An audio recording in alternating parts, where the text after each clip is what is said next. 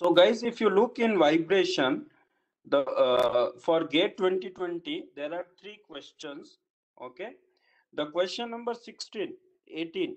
So this question number 18, uh, like uh, similarly like GATE 2020, one question yesterday we did, because that question was also cantilever uh, beam um, continuous vibration problem. So what is given? The natural frequency of the first mode of rectangular cross-section cantilever aluminum beam is omega. If the material and cross-section remain same, but the length of beam is doubled, the first mode of frequency will become. So in uh, yesterday's class, we say uh, we saw they asked the ratio of omega 2 by omega 1. But now what is they asking? Uh, what will be omega 2 in terms of omega 1? So we know what is the omega is proportional to pi square upon L square under root EI by rho A for a cantilever beam. Now guys, here material is same, cross section is same. So IA and uh, rho E will not change. Okay. So uh, omega is proportional to what? Omega is proportional to L square. So if you find uh, what is the ratio of omega 2 by omega 1. Now what happening? Length is doubled. So it will be what? Initial length is L, final length is 2L. So square. Now what is the omega 2? Omega 1 is as what? Omega and it will the ratio will be how much? If you square it will be 4. So the answer is what? Omega by 4. Right now, this was the question in last class also, yes or no. So what is the answer guys? If length is doubled, what will become natural frequency? It will become omega by 4. So A is the answer. Now look into this question number 51. A critically damped single degree of freedom spring mass damper system used in a door closing mechanism becomes overdamped due to softening of spring with extended use. Okay. If the new damping ratio for overdamped condition is 1.2, the ratio of original spring stiffness to new new spring stiffness assuming the other parameter remains unchanged. Okay? So usually we know guys what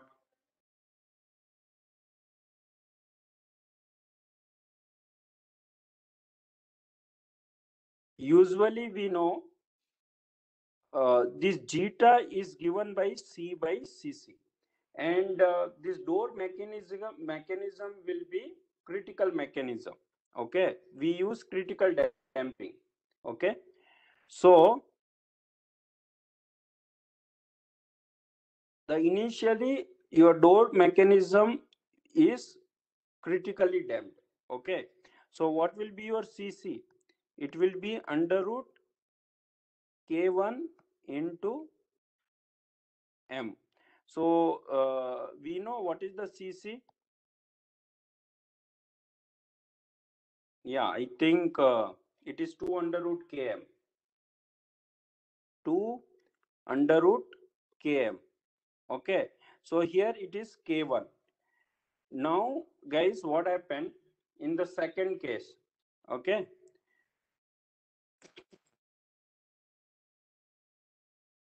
And in this case zeta is what?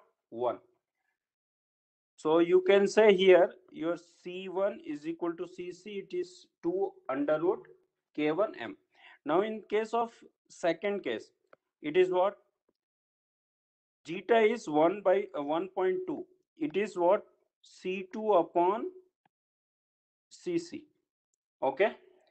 Now what is your c2 it is 1.2 2 times 1.2 times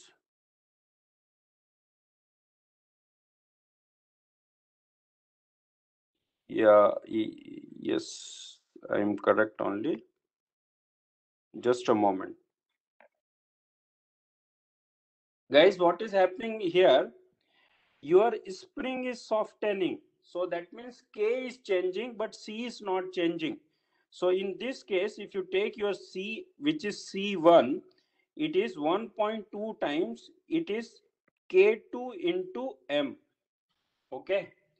So if you take the ratio, this C1 upon C2, uh, which is again C, or you can say you equate this to this.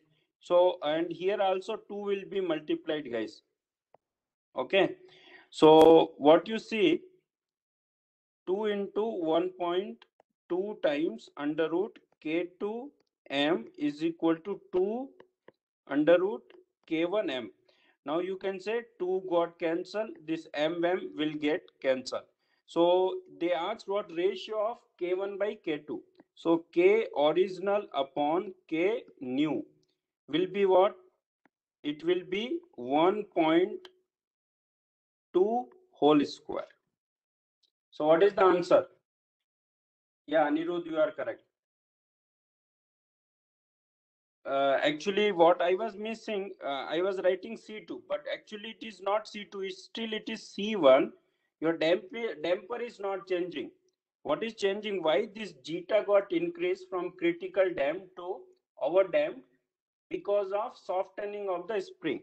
So this ratio will be 1.44. 1.44. So this ratio is 1.44 okay? Yeah. Now look look into this last question question number 52 it is from 2 degree and it's a simple and good question.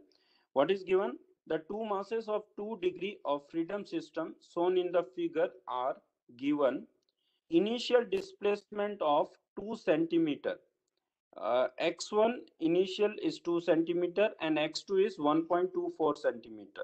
The system starts vibrate in first mode only. So in last class i told when system vibrate only in first mode. So what happened?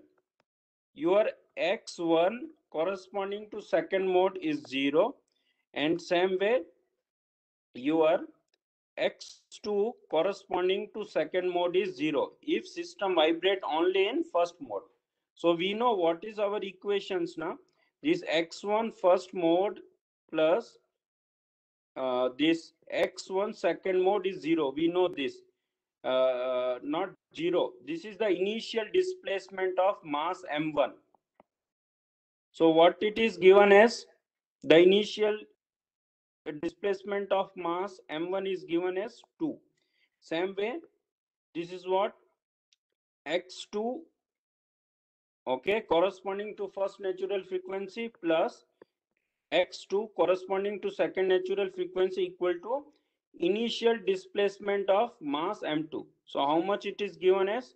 1.24 now system vibrate only in first mode. So this is 0 now we know what is the phi?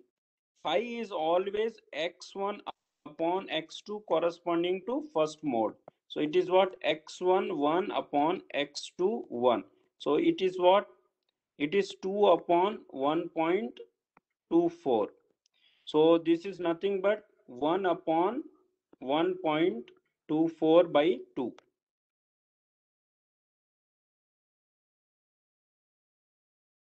so what is the answer? It will be 1 by 0.62 so what is the a value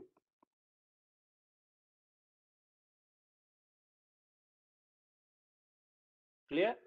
So a value is how much?